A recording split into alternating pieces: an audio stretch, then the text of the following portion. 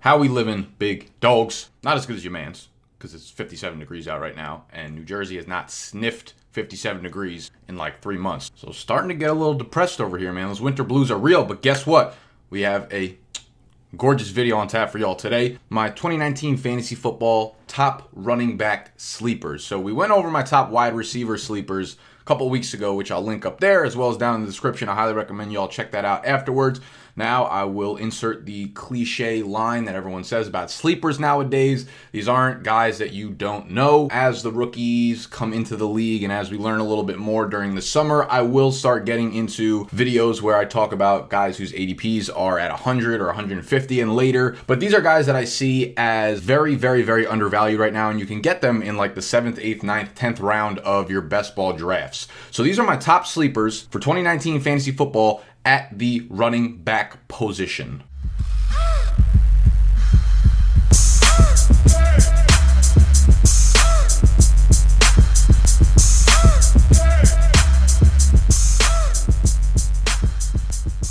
All right, the only thing I ask you guys for the video if you do enjoy the video, if you find a lot of value, information in it, a thumbs up down below would be very much appreciated. It lets me know that you all appreciate my work. If you're on the podcast listening, a subscribe and a rating and whatever, a review would be beautiful. I don't care if it's one star, I don't care if it's five star. We'll take anything we can get at this point, right? And the first running back we're going to get into is Rashad Penny of the Seattle Seahawks. Now, ironically, Penny wasn't a guy that I loved coming out of college as much as some of y'all, because I did a Guice versus Penny comparison last year. Who would I want? Obviously, prior to Guice's torn ACL. And I picked Guice, and everyone was yelling at me about it. Um, and Guice obviously got hurt, so we don't know how it would have worked out. But I'm pretty sure if Guice stayed healthy, he would have had a better fantasy year than Rashad Penny. But that's neither here nor here nor here.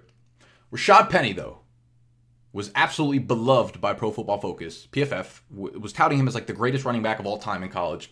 Coming out last year, and he was pretty solid for the Seahawks, at least when he was on the field right? He only appeared in 12 games in his rookie year. He dealt with injuries um, on and off throughout the season, and the preseason, and it cost him four games. Can't forget that he was a former first round pick for the Seattle Seahawks, though. He carried the ball 85 times for 419 rushing yards, 4.9 yards per carry. Now, that's a small sample size, and I hate to ring on yards per carry because, one, that's not a great measure of success. And two, uh, 85 carries is not a big enough sample size for me to really rely on for good analysis. However, the 4.9 yards per carry was top 12 amongst all running backs with at least 85 carries. His 3.5 YAC yards after contact was the fifth best rate among all running backs with that same sample size or more. His fantasy points per snap were top 20 among running backs.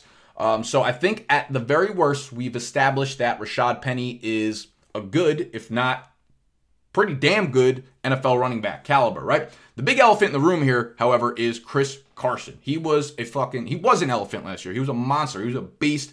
He had an impressive rookie year in preseason and then four games into the season. Then, of course, he suffered his major leg injury and he missed the rest of the year. But he outright won the starting job during the summer last year. And all the beat reports said it, and all the coaches were talking about it, and no one wanted to believe it because Rashad Penny was a first round pick. Carson was a seventh round pick, but he played his way into the starting role. He didn't look back.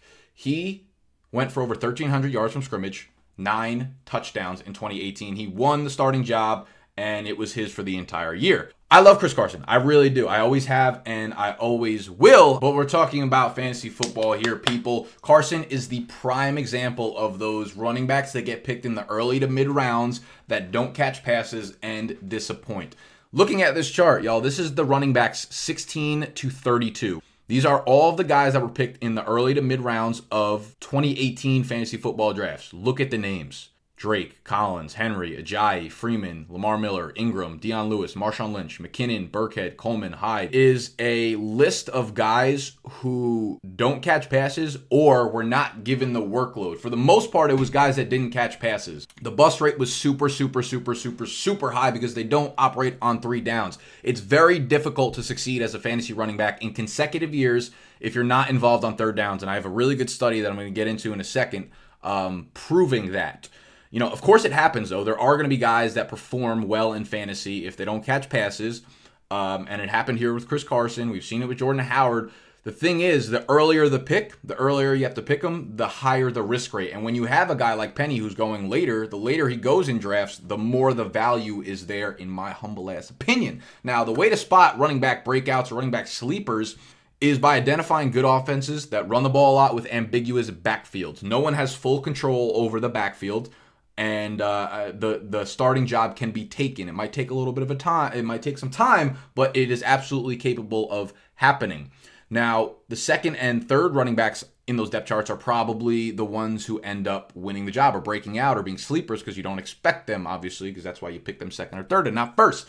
Now, Carson's price tag is actually not crazy right now.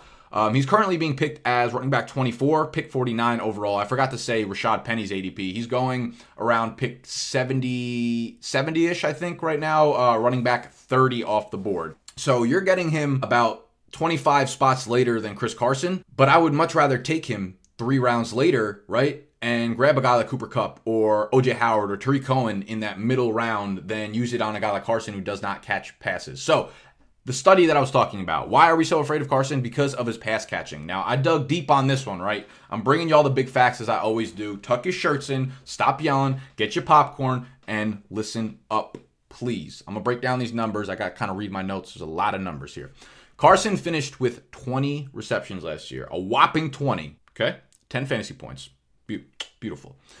Despite playing on 481 offensive snaps.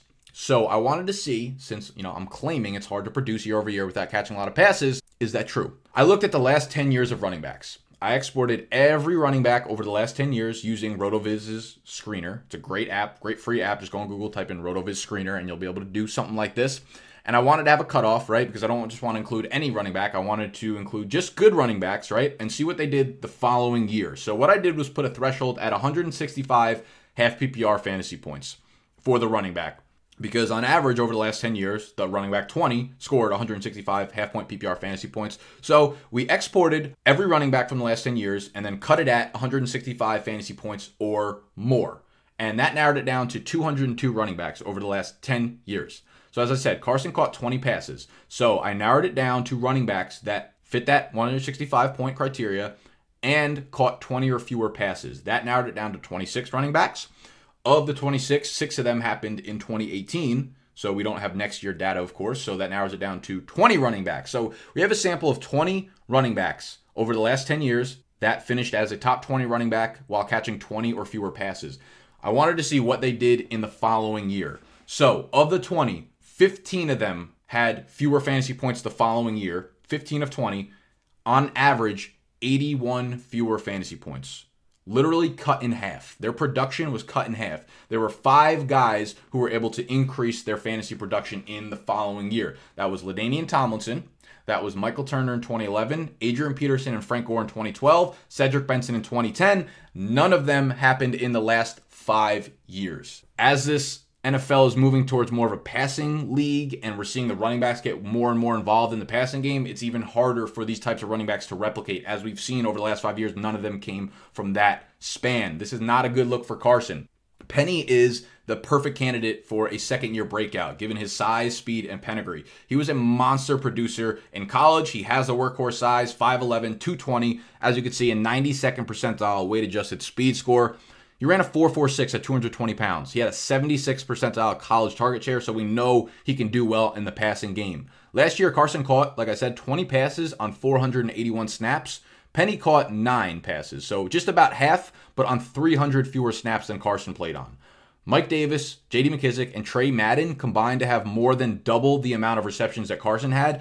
So realistically, they were the third down back in this offense. Carson did not play on passing downs. All three of them are free agents this summer. Mike Davis already signed with Chicago, but the other two are going to be gone. Head coach Pete Carroll already came out and said he wants to use this duo, Carson and Penny, as a one two punch in the league. They are already the most run heavy offense in the NFL. They ran the ball 33 times a game last year, and they're going to continue to do that as long as their OC stays intact, which he is not leaving anytime soon in Schottenheimer. So 33 carries a game.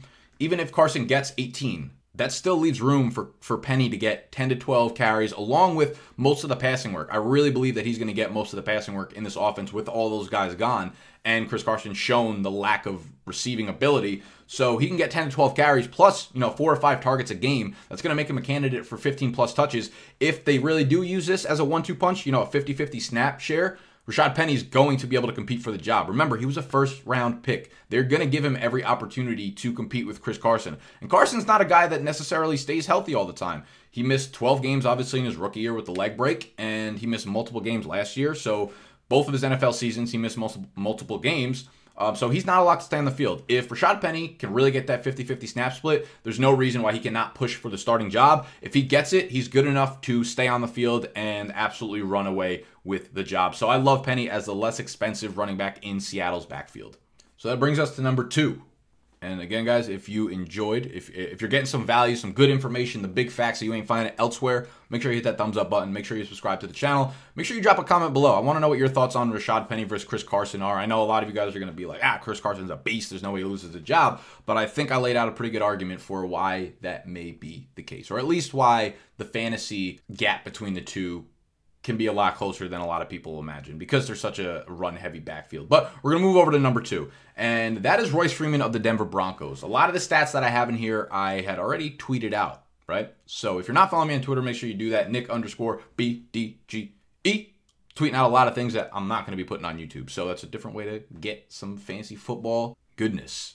Now, Freeman is in a similar situation to Rashad Penny uh, with a little less draft stock. He was a third round pick last year whereas Rashad Penny was obviously a first round pick. Carson was a seventh round pick. Phillip Lindsay was an undrafted free agent, but he still earned the bigger half of this backfield. Freeman shares a lot of the same physical traits as Penny as well. He's got the workhorse size, 6 foot, 229 pounds. Player Profiler has best comparable as Steven Jackson. Very high college dominator rating, 60th, 68th percentile. College target share was in the 61st percentile.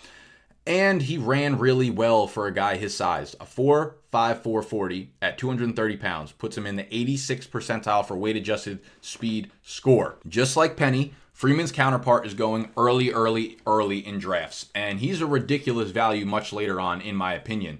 Lindsay is currently the 16th running back off the board right now, according to draft, in the mid 30s, which makes him even riskier. Freeman is running back 36 around pick 90, which is a stupid gap. I know it's going to eventually close throughout the offseason as people watch videos like this and hear Rotoworld go nuts about Freeman and whatnot, but I, I don't think people realize this because Lindsay is first of all because he was so good at running the ball. Second of all because he's smaller, so you kind of assume he's a scat back and he catches a lot of a lot of passes. But Lindsay only caught 35 passes on the year, which were the lowest lowest total in terms of running back catches per game, receptions per game of any of the top 12 fantasy running backs last year. So he was the least receiving type back of the top 12 fantasy finishers last year. And like I said, it, you, you didn't really realize it because you look at Lindsay and you assume these small guys, the way they get on the field is because they're so good at catching the ball. However, Lindsay, that was not the case. Now, there's three val- variables I'm, I'm looking at here when it comes to Lindsay, right? I don't only like to tout the guys like the Rashad Pennies and Royce Freemans. I need to make sure that I back up. I need to play devil's advocate on myself and tell you why Phillip Lindsay won't, you know, he break out even more than he did in his rookie year. I'm looking at three things here Lindsay's season ending injury, right? The completely new coaching staff, and Lindsay's play down the stretch of last year. Prior to what was called a, a possible scaphoid fracture along with lig- ligament damage, that was the injury that Lindsay, I guess, suffered. Um, that shortened his ridiculously good rookie campaign. Listen, I love Lindsay. I owned him in like half of my redraft leagues last year, so I'm a big fan of Lindsay. Um, but Lindsay was brutal over the final few games for the Broncos. In weeks 14, 15, and 16, he carried the ball a total of 38 times for 100 yards, which is 2.6 yards per carry. His yards per reception over that span was just 5.2. And I, I do hate taking small sample sizes, but I think it's I think it's worth wondering that after the full wear and tear of the season, if at the end he started to slow down a little bit. He is 5'7 and 184 pounds, guys. He has a very, very small frame. Um, can he handle full workload over the full season? His play deteriorated, and then he eventually got hurt. Freeman exploded in the preseason last year, right? And everyone pretty much pronounced him a league winner. That was it. He was so good. He scored some touchdowns, and then uh, and he was going to be an RB one in fantasy. But he disappointed big time in the regular season. He led the, the preseason with three rushing touchdowns. Of all running backs, he led the entire NFL. He only upped that number to five in 14 regular season appearances. I do think it's very, very much worth noting, though, in week 17, without Lindsay, Devontae Booker was still there, but this was without Lindsay. Freeman had 25 touches. He got 25 touches, including eight catches on 10 targets. Shows you he can catch the ball out of the backfield as well. Went over 100 yards from scrimmage. So if you forgot about football, forgot about fantasy football in week 17 because no one plays at that point, Royce Freeman got 25 touches in that last game without Phillip Lindsay. Um, Devontae Booker is signed through 2019. He's only a $95,000 cap hit. That's an unheard of number in the NFL, right? $95,000. They, they literally wipe their ass with that, that amount of money. He's a $95,000 cap hit if they release him, which wouldn't surprise me since it is a whole new coaching staff and a whole new system going on, and, and he sucks. So that also wouldn't surprise me. But we need to look at the big facts here, guys, and these are them. This is a chart that I tweeted out a few weeks ago, and I said, Are we sure that Phillip Lindsay is actually the better running back here? When you look at the efficiency numbers from both Pro Football Focus and Player Profile Profiler, it's actually not even close. Royce Freeman wins across the board. Yards after contact per attempt, evaded tackles, evaded tackles per attempt, in elusive rating, in juke rate, in yards created per carry, all in the NFL ranks as well. Freeman dominated Lindsay in all of those numbers. The only thing that Phillip Lindsay won was run blocking efficiency, and that has absolutely nothing to do with running backs. That is completely exclusive. That is all on the offensive line. He was third in the NFL with the third best run blocking efficiency of any running back. Royce Freeman was 33rd. And that right there, my friends, is the difference of what broke right for Lindsay and what broke wrong for Freeman. Does that mean that Royce Freeman will get better blocking and Lindsay will get worse? No, it doesn't. But it probably means more likely that the two are on par in 2019 and that the numbers will skew more favorably to a, a, an even split of how the run blocking happens in Denver. The other thing about Denver is they have a completely new coaching staff coming in, right? They hire Vic Fangio as their head coach, the former defensive coordinator for the Bears, who's a great defensive minded coach, but that's all he is. He doesn't do the offense. Rich Scangarello is the new offensive coordinator. He's a guy that's been working up his way into the league for a long, long time. And I, I, did a little history research breakdown, and I also did a complete NFL coaching changes breakdown uh, a few weeks ago. So you could find that up there. You can find it linked down below as well. He worked his way through college jobs and he is an offensive minded head coach. And he has based his entire offense, the style around Kyle Shanahan and his zone run system. He had been under Shanahan as a QB coach for the last two years in San Francisco and was the offensive quality coach under Shanny in Atlanta back in 2015. So he knows the offense very well. He has styled his offense completely around Kyle Shanahan's system, which is obviously a good thing. He's going to bring it to Denver. The more I read about it, the more I love this fit, especially especially for Freeman, who will get to pick and choose his holes based on the running system. He has great vision, and based on his 84th percentile agility score, he has extremely, extremely, extremely quick feet to be able to follow his blockers and find the hole, which is big in these zone run schemes. He's not a power run guy that's that's going to run in a power system that picks one hole and explodes through it. Whereas Lindsay has the burst. He's so fast. So he's a guy that if you're running the ball from under center, boom, he gets a couple steps to get going. If there's a hole right there, where that's like how a, a, a power run system works, you, you go to one hole, right? You pick one hole and you run right into it, no matter if there's a hole or not. If it's in between the A and B gap, whatever. That's perfect for a guy like Lindsay who has great burst, but for a guy like the zone run scheme, that's way better for a guy like Freeman who can see the holes opening up and he gets to pick and choose his holes because he's agile and he has very quick feet. Um, so I'm not sure Lindsay's burst score is going to be everything for this offense. And the last part, of course, is Lindsay's injury. Right, this is uh, this is going to be a huge rehab for him, nearly six months, which places him back around June at full health, if you know, give or take a month or so, depending on his rehab. If it goes well, if it goes really, I don't know, whatever. Right, six months is is supposed to be the estimated time frame for his rehab. Their offseason program starts in mid-May.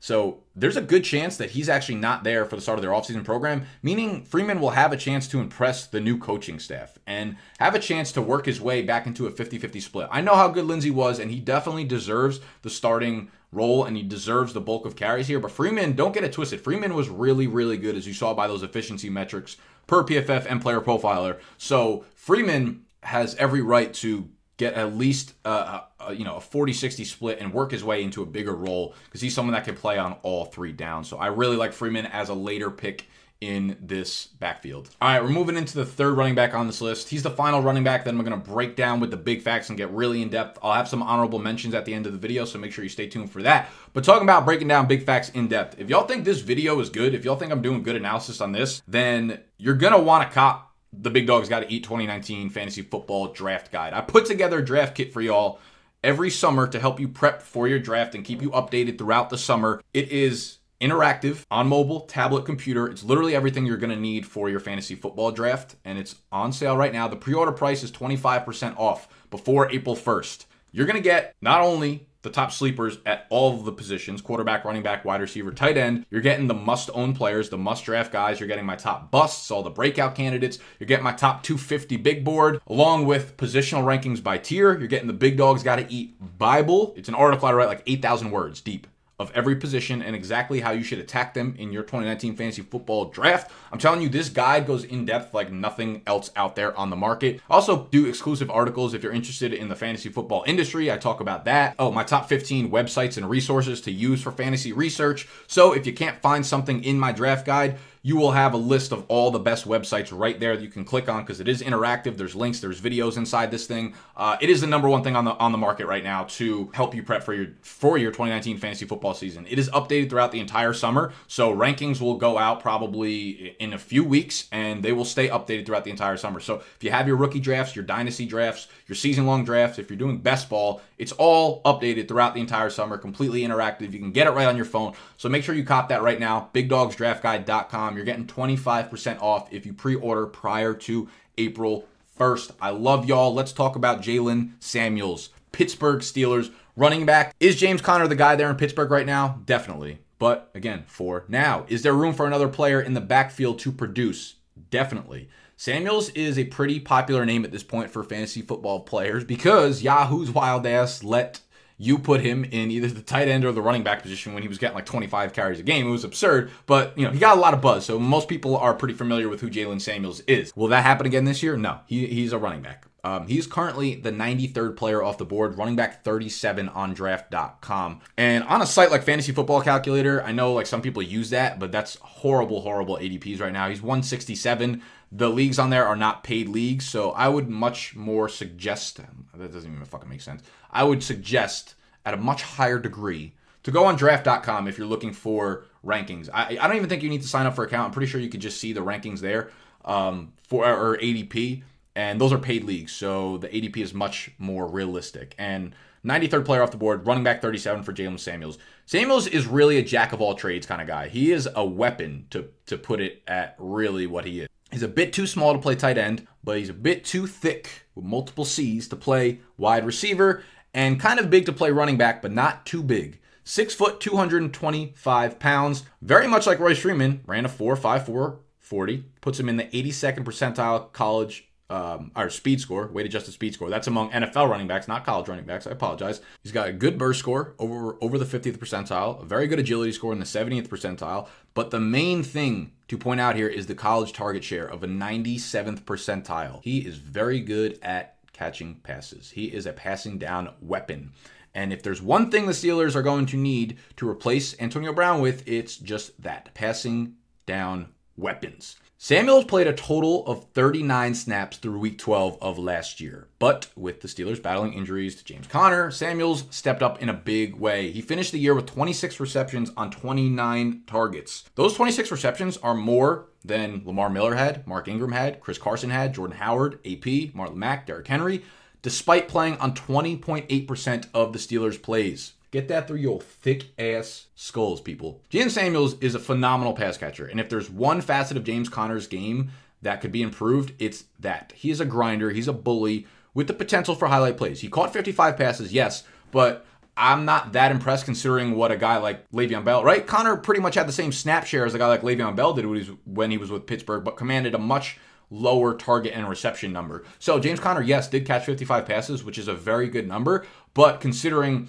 what could have probably came out of that had like Jaylen Samuels got more passing work is probably very understated. So yeah, 55 receptions on 71 targets, which is a 13% lower catch rate than Samuels had. He had four drops, which is seventh highest among all NFL running backs last year. And in those five games down the stretch, Samuels caught 22 of 23 targets, which obviously is a ridiculous pace. If you pace that out to 16 games, we're looking at 70 receptions. He's a great pass catcher in an offense that's losing 169 targets from Antonio Brown and another, I don't know how many Jesse James had last year, maybe like 40. But Samuels also has the size at six foot two twenty five to actually be a workhorse running back. Am I saying he's going to overtake Conner for the running work? No, absolutely not. But if it if it needs to happen, if Conner gets hurt because he has missed multiple games in both of his NFL seasons, then Samuels has every bit of the size to do so. And they're not afraid to use him as a workhorse because we saw that when Conner was out. In week 15 versus New England, Samuels touched the ball 21 times for 172 total yards last year, which was sandwiched between an 18 touch game and a 15 touch game. And the last game of the year, when Conner returned from his injury, Samuels operated as the passing down back. He caught seven of eight passes. And I think that's more likely the split we're going to see in 2019 than the beginning of the year when Conner was getting, you know, six to seven targets a game, because I just don't think he's that efficient in the passing game.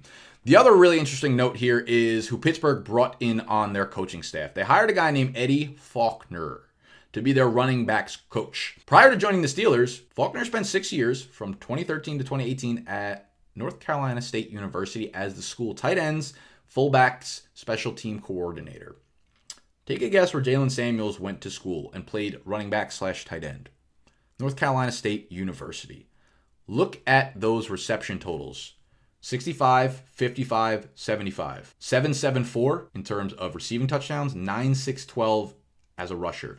If there is anyone that knows how to use Jaylen Samuels and will advocate for the use of Jaylen Samuels on the field, it's literally this guy. I could you couldn't name a literally a better person on the planet than to pair with Jaylen Samuels. And I think that's a big reason why they brought this guy in. With Samuels, I see a guy with a passing down role in an offense that uses their running backs in the passing game a ton on a team that is losing a lot of targets. He's a great pass catcher, but he's different. He's not like the other great pass catchers in the NFL, like the James Whites or the Gio Bernards or the Tarik Cohen. He's six foot two twenty five. If something were to happen to James Conner, and like I said, he's now missed at least three games in both of his NFL seasons, Samuels has literally top fifteen, if not RB one weekly upside. In my opinion, he's a great combination of ceiling floor that I would love to get in round nine, round ten, especially if you fade running backs early on. All right, so Jaylen Samuels, that that's my wrap on him, right?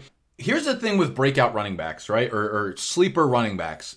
Um, it, it's more of a gamble. It's more of playing the odds and the analytics than it is like a confident feeling.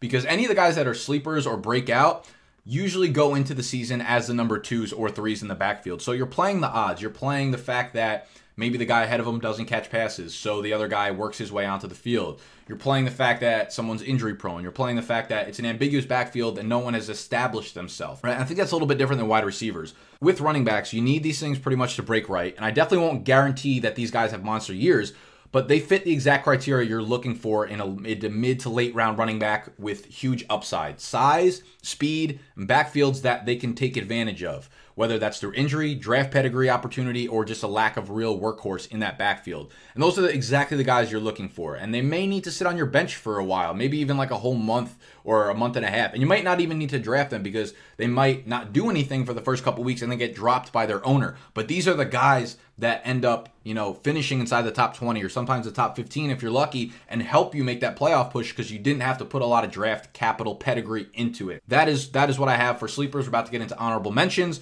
But again, y'all, if you think I'm breaking these guys down, I'm telling you, you're going to be blown away by the draft guide. So, bigdogsdraftguide.com. Make sure you cop that. Make sure you hit the thumbs up button if you enjoy the video so far. Make sure you subscribe to the channel and to the podcast if you are new, because we're breaking down shit like this every Tuesday, every Friday is a fantasy football breakdown um, going forward. And then in June, we are pushing out six videos a week. So you know your man's going to cover you everything 2019 fantasy football. So make sure you subscribe. So honorable mention guys I had on here. Actually, this list went to complete shit to be honest. Damien Williams, he's definitely not going to be a sleeper anymore. Um, but with the signing of Carlos Hyde, I think that's a very good thing for Damien Williams. It wasn't so much in the sense of a sleeper, but he'll be undervalued. If he goes anywhere near like the third round now, I think he is an absolute smash button on. Uh, he's a smash cop cop cop cop cop button um, because he's he's clearly going to start the year as the workhorse, and it's probably going to be very hard to lose that role in the Kansas City offense.